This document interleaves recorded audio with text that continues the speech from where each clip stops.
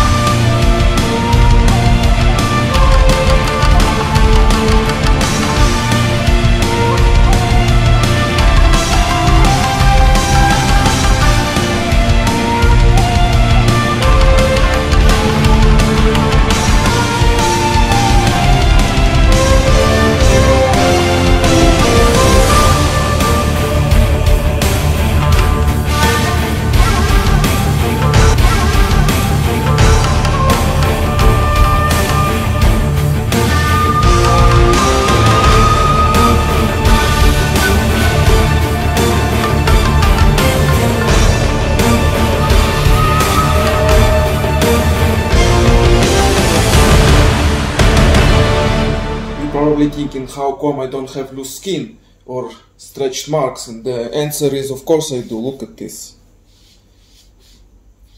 All across the stomach. And a lot of loose skin.